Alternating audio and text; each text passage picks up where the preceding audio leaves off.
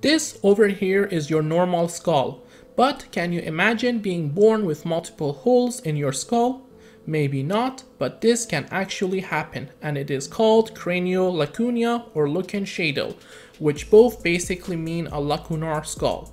In this condition, there will be numerous round defects in the skull which are separated by dense bony ridges giving a honeycomb-like appearance. You see, the bone making your skull has an inner and outer table with some spongy bone in between.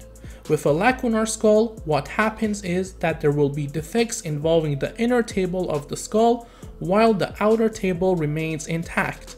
Hence, these holes and gaps which are easily detected by x-ray of the skull will not be detected by physical examination. However, in more severe cases of lacunar skull, where both the inner and outer tables are involved, you might actually feel the gaps and holes by just touching the skull from outside. This more severe form is sometimes referred to as craniofenestra, indicating the fenestrations in the skull. Regardless whether a lacunar or fenestrated skull, the cause and mechanism behind this condition is not exactly clear.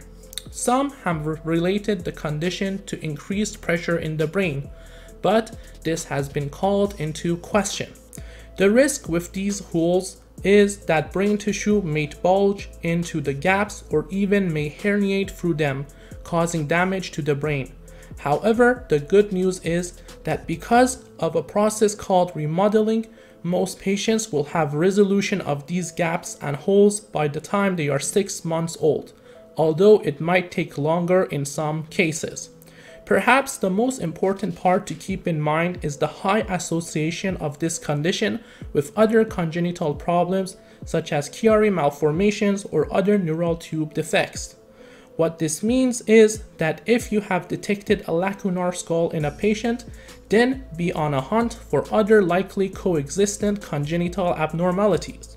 That being said, Lacunar skull has also been reported in individuals without any concurrent congenital or neurological abnormalities, but they are more of the exception rather than the rule.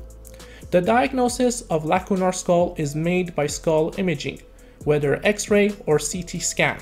Some cases can be diagnosed with ultrasound even before birth. It is interesting to know that although lacunar skull is mostly looked as a congenital condition, which means you are born with it, there are a few reports of individuals acquiring such condition during childhood. Regardless whether congenital or acquired, please mind the gap.